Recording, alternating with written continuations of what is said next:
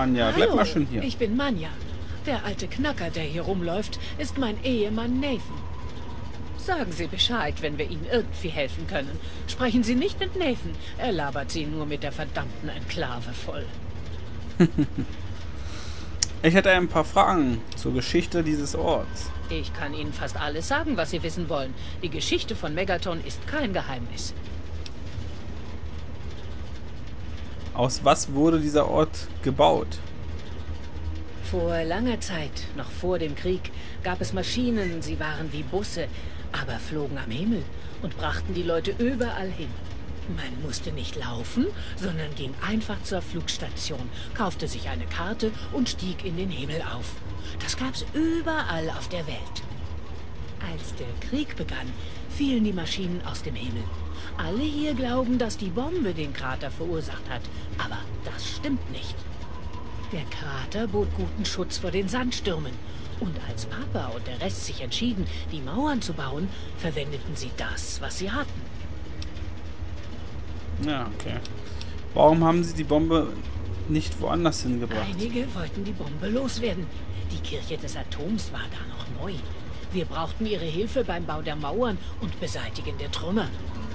Wenn wir versucht hätten, die Bombe wegzuschaffen, hätten sie uns nicht geholfen. Außerdem wollten viele Leute die Bombe einfach in Ruhe lassen. Sie tat niemandem weh und niemand konnte sagen, was passiert, wenn wir es vermasseln. Ein Haufen Teile für ein für nur eine Maschine? Gutes Auge. Ja, stimmt genau. Einige Meilen von hier gab es eine Flugstation. Bis auf die Flugzeuge wurde alles geplündert. Mein Papa hat einige Leute, die da rausgehen, die Maschinen auseinandernehmen und die nützlichen Teile zurückschleppen. Habe ich auch schon gemacht. Man kann gar nicht mehr erkennen, wo die Flugstation mal war. Das Ödland hat sie zurückerobert. Warum die Wände aus einer alten Flugmaschine bauen? Es ist viel einfacher, als genug Teile zum Bauen von Mauern und Häusern aus rein gar nichts zu finden. Der Schrott war da, also verwenden wir ihn. Außerdem ist das stabil. Das hält die Raiders und Sandstürme draußen. Nicht alle von uns hatten das Glück, in einer Vault geboren zu werden. Ich hätte noch eine Frage über Megaton. Raus mit der Frage. Wie wurde die Stadt gegründet? Ursprünglich war die Stadt mal ein Loch im Boden. Mein Papa erzählt immer, dass sich sein Vater und die ersten Siedler im Krater versteckt haben. Das Wrack schützte sie vor Sandstürmen. Als wieder Normalität einkehrte und die Leute sich in die Wüste aufmachten, blieben einige hier zurück. Die Umherziehenden kamen zurück, um Handel zu treiben. Als mein Papa geboren wurde, war die Stadt schon zu einem Handelszentrum geworden.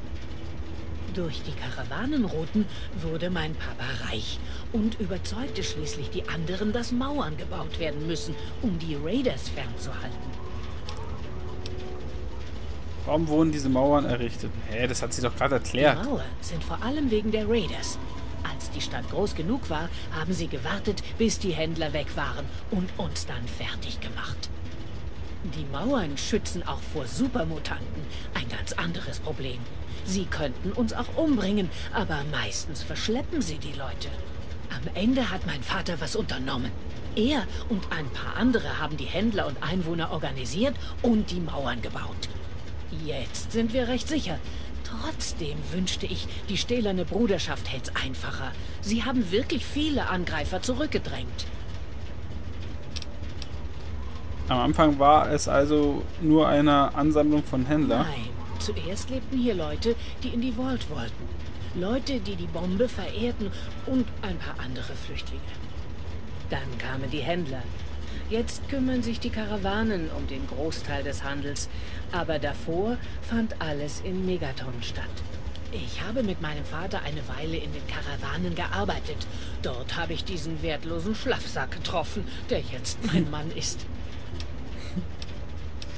Kann man denn im Megaton leben? Nein, der Platz ist zu knapp. Sehen Sie all die Leute? Sie leben im Haus der Gemeinschaft und sind keine richtigen Einwohner. Fremde werden hier gut beobachtet. Ich kann einen Raider-Spion auf 100 Meter Entfernung erkennen. Da mache ich mir gar keine Sorgen.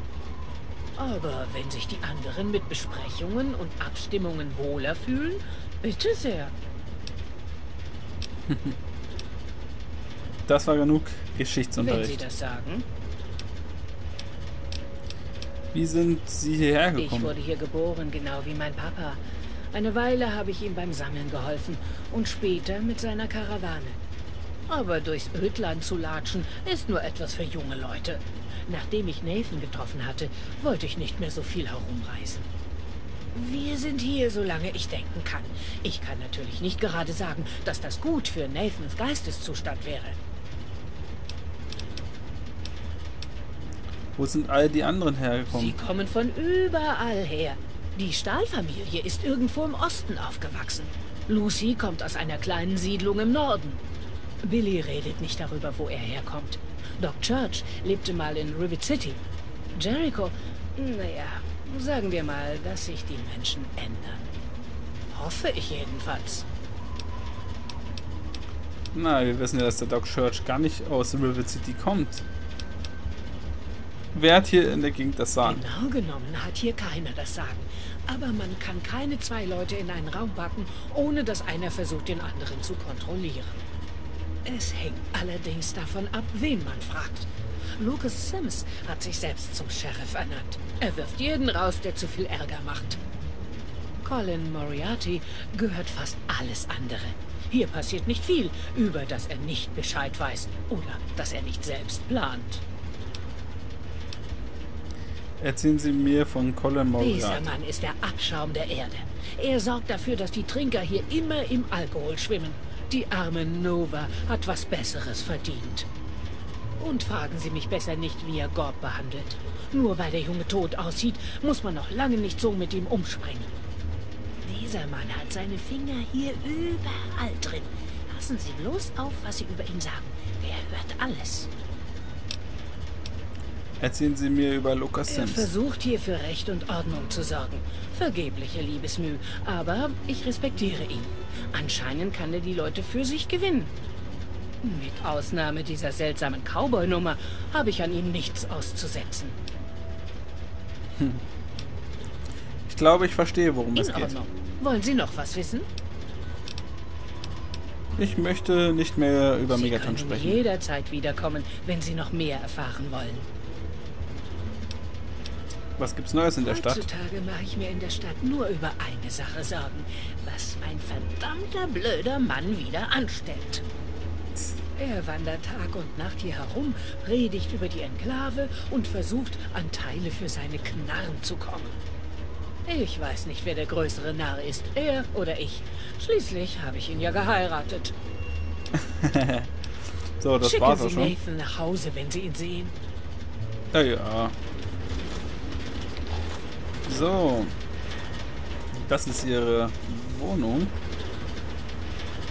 Dann schmuggeln wir uns mal da rein. Vorsichtig. Ja, sieht sehr gut aus. Schnell alles aufsammeln, was wir hier finden. In der Regel kommt sie sehr schnell hinterher. Ah, gut, okay, das war das. Okay, wir müssen. Oh. Müssen wir hochleveln? Ich mach's mal auf 20. Und wir müssen Sprengstoff halt hochmachen. War, was waren das? 25? Ich glaube 25, genau 10 Punkte. Ach, zum Kotzen, ehrlich gesagt. Ganz ehrlich, mich nervt es, dass wir für sowas Punkte verbrauchen müssen. Was ich aber auch noch unbedingt brauche, ist noch sowas wie Schleichen. Bin ich nur so schlecht. Aber Sprache ist noch am allerwichtigsten, also schön Sprache hochmachen. Okay, dann mal gucken, was wir jetzt hier finden. Tja, intensives Training wäre jetzt, glaube ich, angebracht, weil alles andere bringt nämlich gar nichts. Ja. Weil erst später kommen die besseren Sachen. Also intensives Training. Was erhöhen wir denn da? Beweglichkeit wäre jetzt ganz gut, weil wir nämlich ganz schön lahmarschig sind. Stärke wäre vielleicht aber auch nicht übel.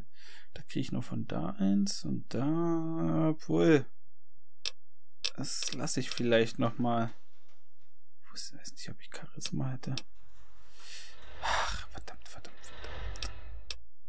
Mich stört die Beweglichkeit eigentlich. Ziemlich langsam. Gut. Hm, gucken wir uns mal weiter um. Hier ist nur ein bisschen was zum Fratzen. Das war's auch schon. Gehen wir mal raus, bevor wir Ärger kriegen von ihr. Und hier ist noch die Darmtoilette. Oho.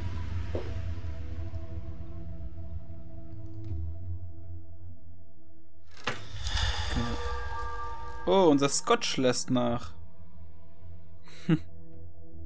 Wie ihr seht, ist das Wasser hier nicht... Naja, obwohl es geht eigentlich aus dem Waschbecken geht's noch. Das sind bloß drei Rad. Oder drei RAD, ich sag mal Rad dazu, die ähm, wir dadurch bekommen. Also ist es noch ganz in Ordnung.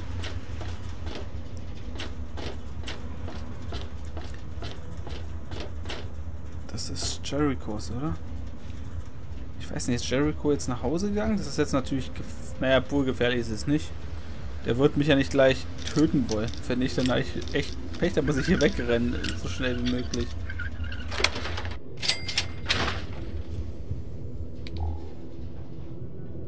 Ah, er ist nicht da. Oh, gut.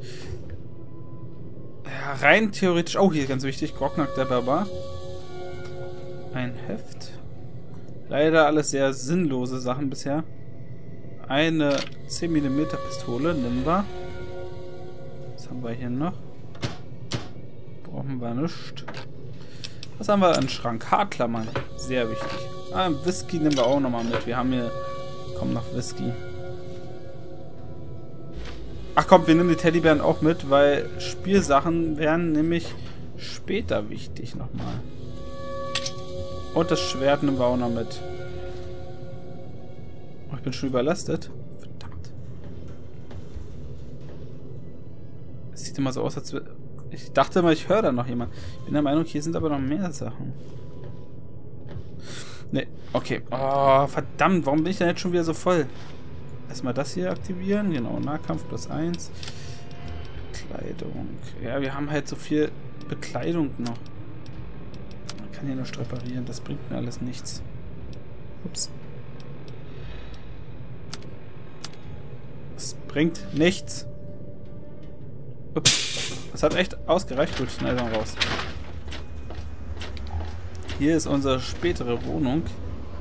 Hier kommen wir noch nicht rein. Brauchen wir auch noch nicht. So, wenn wir schon hier sind, gucken wir mal. Hier ist ein Lag, den wir reparieren sollten. Ach, 30! Das ist doch nicht wahr. Ich ja noch... Oh, da muss ich noch ein Level schaffen.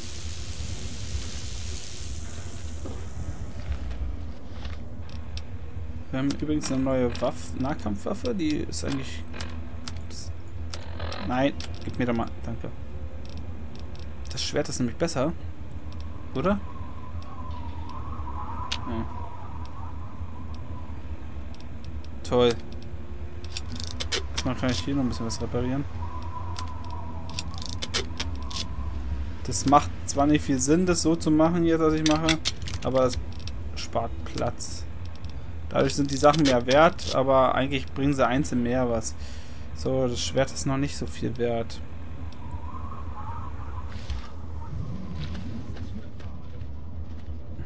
Wir reden mal mit Ich behalte Sie im Auge. Tun Sie nichts Unüberlegtes. Ah, genau, das hier müssen wir später unbedingt machen. Aber ich will es jetzt noch nicht machen, weil ich noch keine gute Waffe habe, um den Typen zu, umzunieten. Ähm, nicht, schärfen kann. Äh, ich muss mal wieder los. Okay. Okay. Ach so. Ah, schnell, schnell, schnell, schnell, schnell, schnell, schnell. Ich will mal eben nachgucken, ob ich bei Ihnen rein kann. Es gibt irgendeinen Zeitpunkt, wo ich legal bei Ihnen in die Wohnung darf. Natürlich immer noch nicht. Verdammt. Ich weiß nicht, welcher Zeitpunkt das war. Oder komme ich hier eigentlich hoch? Nee, weil es so kann ich nicht springen. Ich kann ja fast gar nicht springen. So, hier ist die Wasseraufbereitungsanlage. Es hat einen Ach, guten Ahnung. Grund, dass abgeschlossen ist. Also keine Ja, dummen warum Ideen. denn? Hallo. mit Leo Schön, Stahl. Sie wiederzusehen. Wie ich sehe, haben Sie ein ziemliches Drogenproblem. Verdammt, wer hat Ihnen gesagt... Ich meine, ich habe keine Ahnung, wovon Sie da reden. Hey, ist schon okay, Leo. Ich möchte Ihnen helfen. Was ist Ihnen, was ist Ihnen wert, die Angelegenheit geheim zu halten? Das kann man auch machen, dann hält das, gibt uns tatsächlich was. Ist egal, Leo. Das ist sowieso nichts, äh, da ist sowieso nichts. Das geht mir sowieso nichts an. Nee, nee, wir Sie wollen helfen? Was soll denn das heißen? Ich bin eben ein Junkie, na und? Ich tue doch niemandem weh. Ja, wir können ihn schon überreden. Sie ha- schaden ihrer Familie, Leo. Sie bedeuten Jenny und Andy Stahl sehr viel. Genau so sieht's Sie- aus. Sie haben wohl recht. Ich muss Ihnen von meinem Problem erzählen, oder? Ja, ich denke mal schon. Wäre keine schlechte Idee. Ich könnte es Ihnen erzählen? Hm, nö. Ist egal, Leo, aber nee, nee, nee. Das Ich weiß nicht, was ich Idee. sagen soll. Ich habe sie jahrelang beide bestohlen, um an Drogen zu kommen. Wo Tja. soll ich denn anfangen? Ich finde eine Lösung. Vielen Dank für Ihre Hilfe. Ausgerechnet Sie haben mir gezeigt, was für ein Esel ich gewesen bin. Hier, dieser Schlüssel ist für mein Geheimversteck in der Wasseraufbereitungsanlage. Nehmen Sie das Zeug, verkaufen oder verbrennen Sie es, mir egal. Sehr schön und wir haben wieder Karma dazu bekommen. Natürlich nehmen wir die Vorräte mit. Sie haben die richtige Wahl getroffen. Es wird schwer, aber ich gebe mein Bestes. Nochmal Karma. Wie sieht's au- mit der Abhängigkeit aus? Wieder Ich sauber? bin noch am Anfang, aber soweit ist alles okay. Was machen, also, was machen Sie drin? Brauchen wir Bis jetzt nicht mehr, später. weil wir wissen, dass er hier seine Drogen versteckt hat. Oh, sehr schön. Buff out, Jet, Kohle, MedX, Mantis, Psycho, Stimpaks. Perfekt. Alles für den Anfang. Was haben wir denn hier drin? Darf ich jetzt natürlich nichts nehmen, sonst äh, kriegt er gleich einen Rappel. Ist jetzt nicht weiter. Okay, gut. Wir haben schon mal eine, sozusagen eine Mission geschafft. Ihnen zu helfen. Creator Site ist wie immer noch zu. Äh, jetzt muss ich ganz kurz überlegen. Da oben. Ja, bla bla, Stock. Ja, ja, ich weiß. Achso, Restart wieder. Gut, ähm. Wir haben ja einige Quests noch offen. Ich würde gerne erstmal was verkaufen. Und gleichzeitig nochmal eine Quest von ihr hier annehmen. Also, was machen wir? Wir. Ja, doch, wir warten. Wegen der, ich brauche ja noch eine Waffe. Ich glaube, um 11 Uhr oder so macht sie auf. Ich bin jetzt nicht sicher.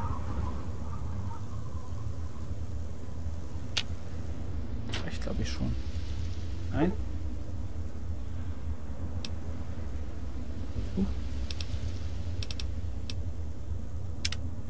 Alles um 9?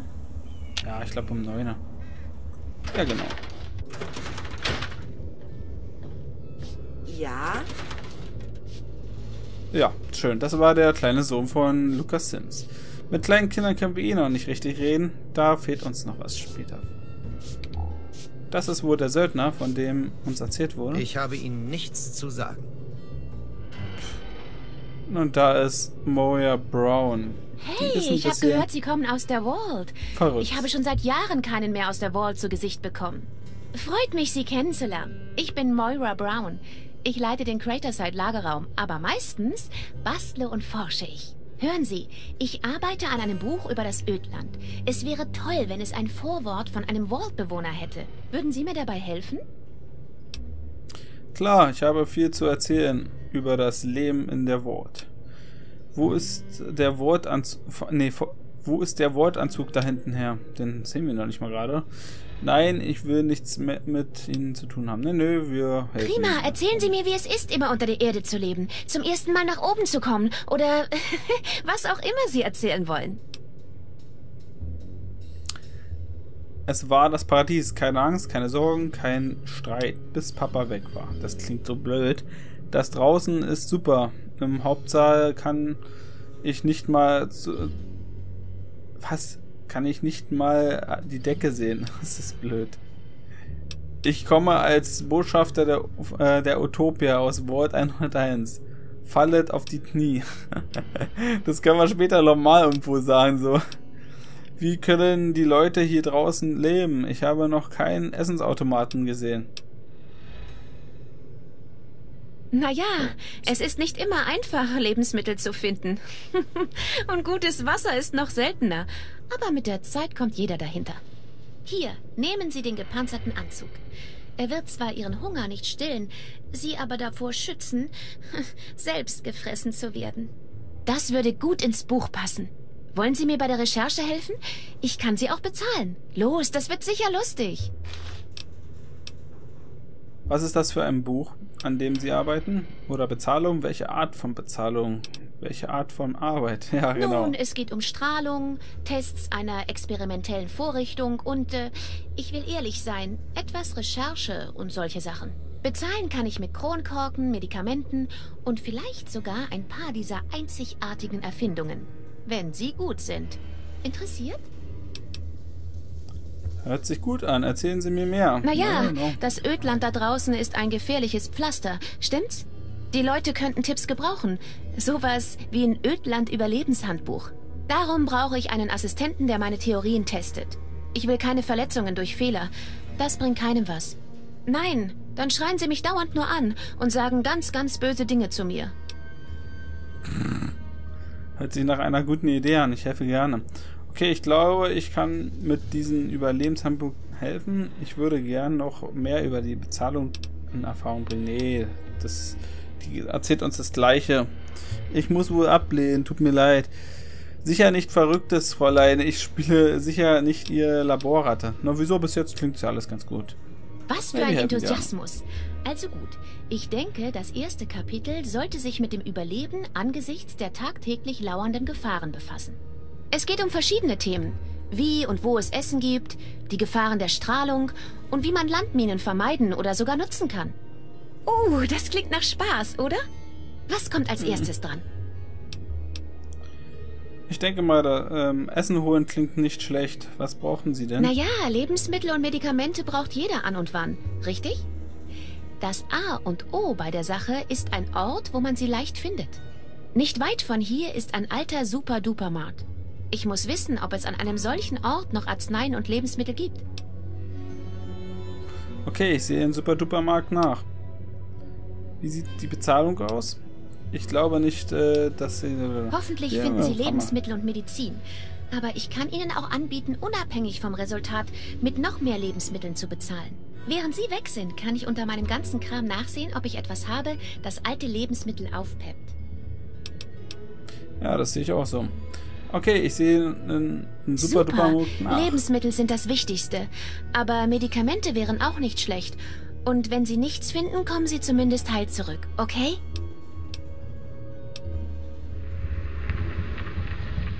Achso, genau, über den Commonwealth. Das müssen wir auch noch, da lesen wir uns das mal gleich noch durch. Erstmal. Viel Glück bei Ihrer Feldforschung. Oh, ich bin schon wieder überlastet, toll.